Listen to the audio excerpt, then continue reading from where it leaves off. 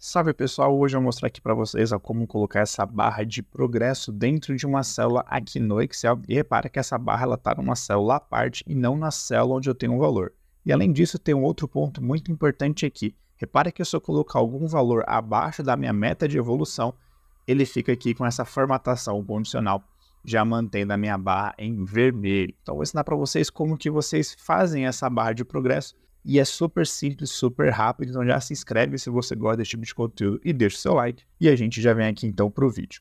Bom, eu tenho aqui uma planilha à parte onde a gente vai fazer a construção dessa barra de progresso. E eu tenho aqui também uma célula com esse valor em porcentagem e é muito importante que vocês também tenham isso na base de dados de vocês.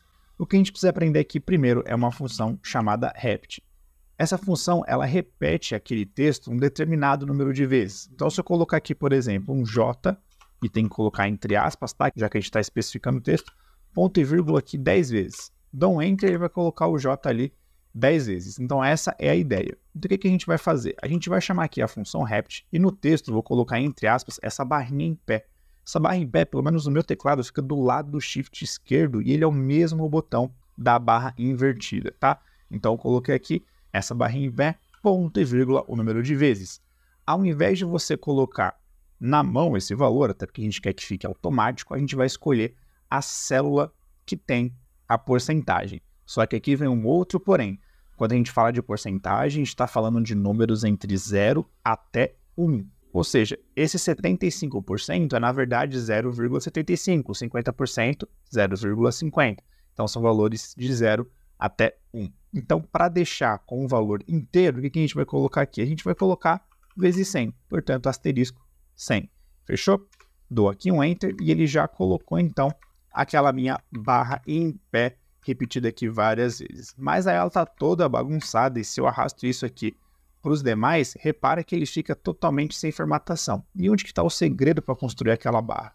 Simples, você vai selecionar aqui a sua coluna C ou os dados que você usou a função rept e você vai trocar aqui a fonte em que ela está e você vai colocar playbill, tá? O segredo é essa fonte dou aqui um Enter e a gente já tem a barra de progresso. Então, conforme eu for alterando aqui os valores, ele vai alterando nessa barrinha também. O que a gente precisa fazer agora, então, é a formatação condicional. Eu vou fazer o seguinte, a minha evolução está aqui em 50%, eu vou alterar a cor dessas barrinhas e você precisa alterar na fonte, tá? E não no preenchimento, porque lembra que isso aqui é um texto.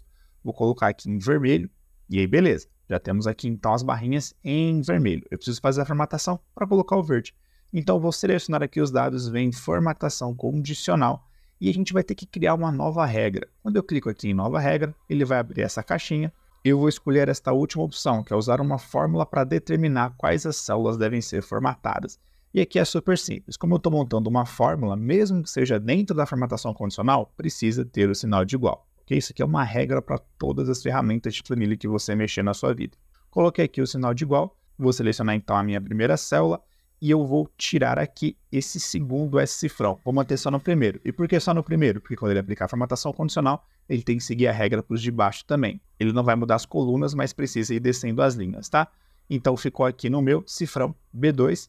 E aí se ele for maior do que 50%, então eu coloco o sinal de maior que e selecionar a minha célula que tem ali a evolução.